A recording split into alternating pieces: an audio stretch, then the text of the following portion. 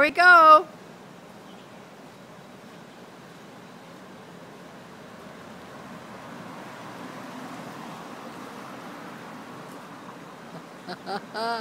Way to go! Go by me!